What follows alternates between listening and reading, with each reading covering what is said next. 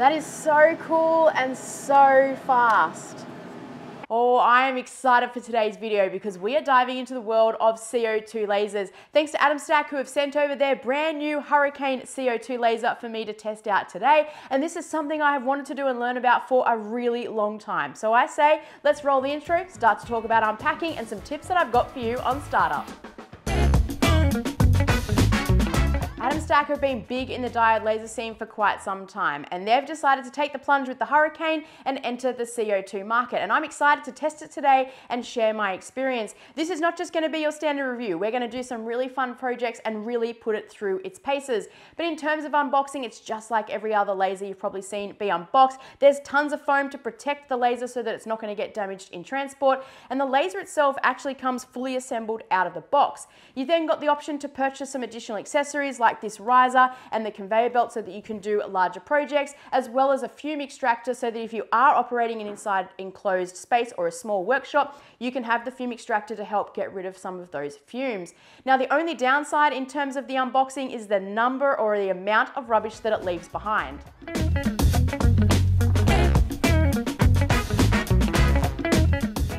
Comes to materials that your laser can cut and engrave, honestly, it's overwhelming because the list seems endless. But I'm gonna make a couple of projects today highlighting some materials that you may not necessarily realize that you can cut and engrave. One of the biggest advantages of CO2 over a diode has to do with acrylic. A diode machine can cut and engrave black, but that is it. With a CO2 machine, your world is endless. You can cut and engrave any color, including clear, on the machine. So the first project we're going to do is create some nameplates. I'm also going to throw in some plywood because I want to test that out. But let's dive in and start creating.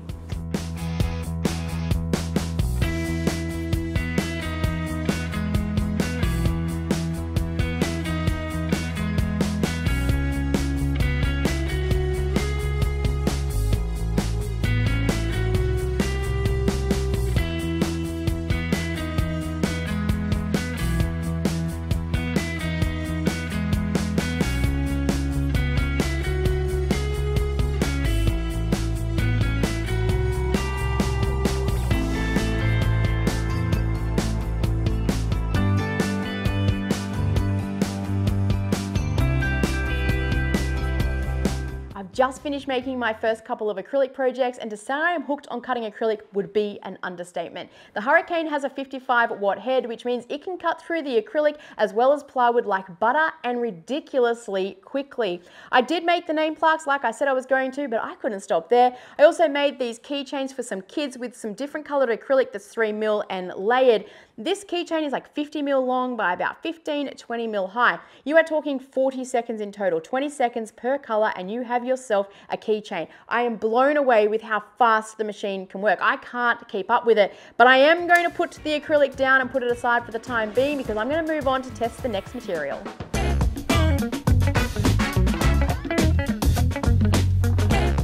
The next material up on the workbench for testing are these metal bottle openers. And what I really like about these ones in particular is that they've got a black coating on them. It's gonna be perfect for the laser because I can laser off that black coating, revealing the stainless steel underneath. And to make sure they're aligned correctly in the laser, I'm gonna use some 3mm plywood to make myself a template so that I can pop each one in as I go. And this is gonna be a really great test for the camera in particular because I have got some designs that run right to the edge of the bottle opener, so we'll be able to see whether or not I've got those settings dialed in just where they need to be.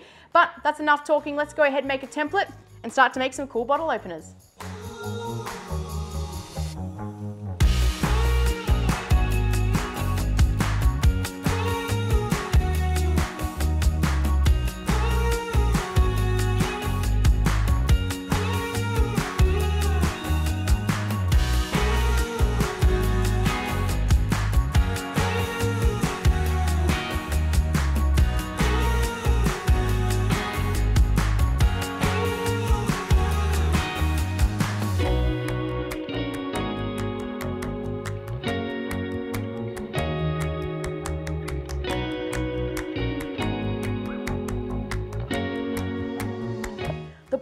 Have come up fantastic. I'm really happy with the result. Something that always surprises me with lasers is just the detail you can get on tiny lettering. Some of these designs have got really tiny words and you can very clearly see what it says with the laser engraving, which is a really great result. I did have to make a couple of adjustments in terms of using the camera just to get the designs to run all the way to the edge of the bottle openers, but overall I was really happy with it. Now I did about 15, it took about a minute each side, and I did them one at a time, but the laser has a work area of 500 by 300, so you could very easily put a whole bunch in there and batch out your designs fairly quickly. I do have a couple of tips for you though if you are working with metal. Often when it comes off the laser, they are filled with dust. The best way I have found to clean them and to really get your engravings to pop and shine is with some Barkeeper's Friend and a magic sponge. They come up really, really nice. And another thing, if you are gonna batch out a bunch of projects like this and your bottle openers come in plastic or anything like this, keep it, don't throw it out because when you're posting them off to your clients, you can put them back in there to protect them during transport. But I'm gonna put these down because I'm excited to move on to project number three.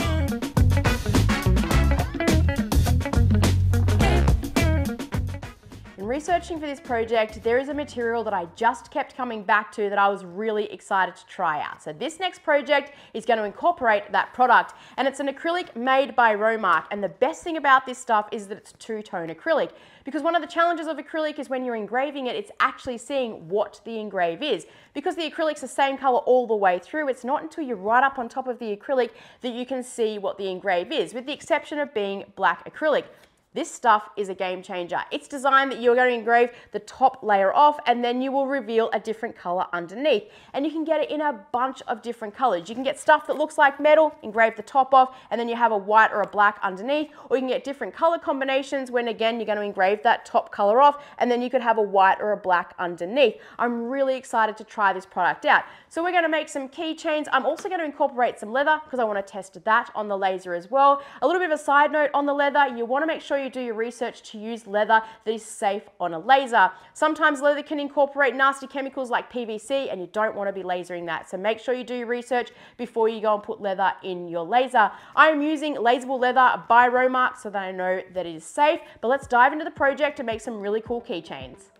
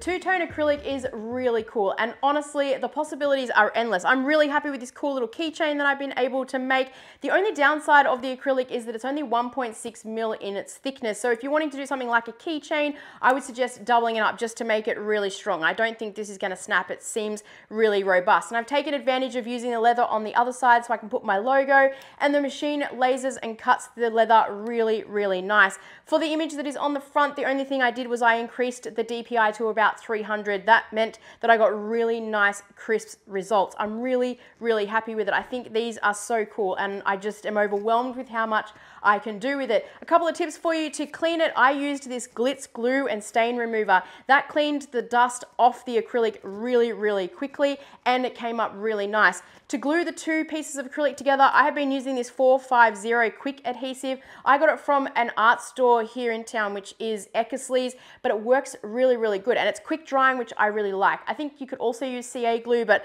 I think this will create a stronger bond over a longer period of time. So really happy with that. Also works on the leather, so I only had to use the one glue to be able to glue it all together. Now, before I tell you who I think this machine is perfect for, we're gonna quickly run through the accessories that you can get with the machine. And then we're also going to run through some startup tips because I did have some issues on startup and I wanna troubleshoot those with you so that I can get you up and started even quicker. And then I'm gonna tell you my final thoughts and who I think the machine is perfect for.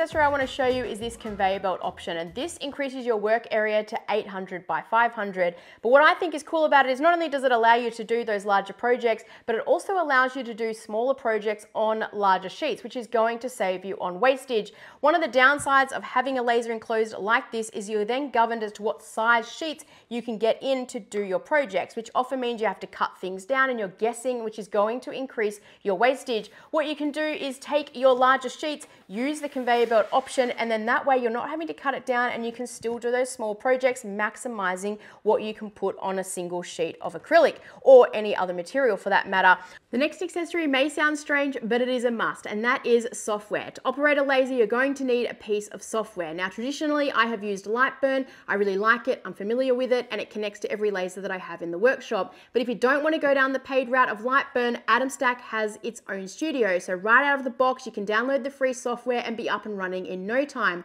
The other upside of the AtomStack software is that you can download it before you even push purchase on the laser and have a play around with it, make some designs and see whether or not getting into lasering is for you.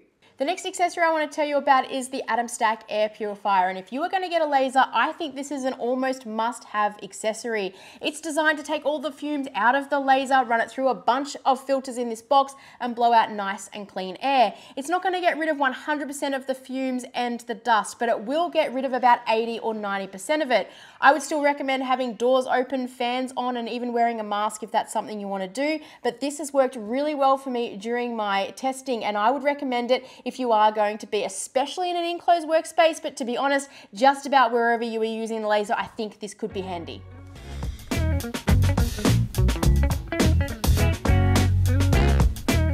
First startup tip I want to give you has to do with using the cable to connect your laser to your laptop. If you are using the supplied cable, this may apply to you, but it may also apply with any cable that you're using. It's just good to be aware of it. Originally, when I was trying to connect it, I had the end that is USB-C and USB connected to the laser and then the USB end at the laptop, but I actually needed to have it the other way around. The one that needed to be connected to the computer was the one that was both USB-C and USB, and as soon as I had it around that way, the Lightburn software had no issues on picking up the laser. The next startup tip I have for you has to do with the inbuilt camera. A lot of CO2 lasers and the AtomStack is no different, is that it has an inbuilt camera, which is a fantastic feature because it means you can cut down on your wastage because you can align your project just where you want it on your material, and you don't have to send the laser head out 100 times to frame your project to get it in the right position. But you do have to run through a process in Lightburn to dial in the camera. And to do that, AtomStack send over this dot card for you to do this, but there is a right and a wrong way to set the dots up. You want to pay attention in Lightburn to how the dots are laid out in comparison to how you have it laying in front of the camera. The other thing you want to do is have it stuck down to something that makes sure the card stays really flat. You don't want to have any of the corners turned up or anything like that because the camera will have trouble seeing all of the dots. The other thing has to do with the light sources. So AtomStack have lights in here, which is awesome because you can see your material, you can see what you're doing. But the downside is, along with these lights, as well as some of the lights you probably have in your workshop or room, it can create reflection onto the dots and the camera can have trouble picking up all of those dots. So just simply keep some of the cardboard that you have from your packaging so that you can block out those lights just while you're doing the alignment and getting everything dialed in. You may even have to hold it up just to cover the light source coming in to stop any reflection on those dots. Then once you've got it all dialed in, it's a really, really neat feature. Makes everything so much quicker and you just cut down on the wastage. I've got one more tip, which might not be a tip, but it's something that I didn't know because I've come from the world of diodes. So let's talk about the water that you need to put in the CO2 and If you're new to CO2 machines or like me, you're coming from a diode machine, something that I didn't know is that they require water to be put into the machine to keep the laser tube cool during operation. But you can't just put regular tap water in. You need to make sure that it is distilled water or demineralized water. And if you live in a country that has below freezing temperatures, you want to read the manual because you may be required to put in some antifreeze to stop the water from freezing. And to fill it up, it's really easy. You just take the fuel cup off the side and it comes with a funnel so that you can easily get the water in. And up the top on the display, it has a red light so that you know that it requires to be filled. And then once you hit the right level, it will turn blue so you know you've got enough water. Apart from that, the startup is actually really easy, but I wanted to run through some of those hiccups that I had so that I could help you with the troubleshooting and get you up and running quickly.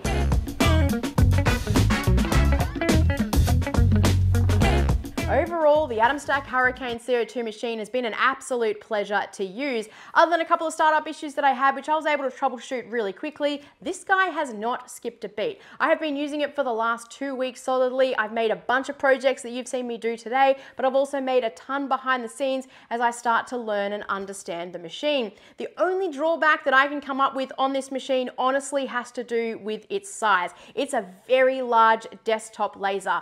Unlike a diode that you can generally pick pick up and move around and find somewhere to store, even on a wall. You're not going to be able to do that with this machine. You are going to have to find a permanent home, which is a downside, but I think the upsides outweigh it. What I underestimated coming especially from the diode world is just how cool and awesome acrylic is to work with. You can get it in every color imaginable and a bunch of different combinations, even making things look like metal and timber, which I just think is really cool. And I've really enjoyed making a bunch of projects with different acrylics. Now, who do I think this machine is for? I think this is for a person that is looking to move up from a diode machine or someone that is looking to start a side hustle but doesn't want to invest in a really expensive machine. CO2 machines traditionally have been really expensive, but I think the Hurricane is going to start to bridge the gap as it's probably going to sit somewhere between those expensive CO2 machines and a high-end diode. I have really, really liked it. And if you are looking to pick yourself up one, I will leave purchase links down in the description below. I will let you know if you use those links, it does help out the channel and I thank you for that. I also want to say a really large thank you to AtomStack for sending over a CO2 machine for me to try out. I'm excited to continue to make projects. Now, I hope you have found this video helpful. If you have, you can help me out by hitting those subscribe and like buttons, and I hope to see you on the next one.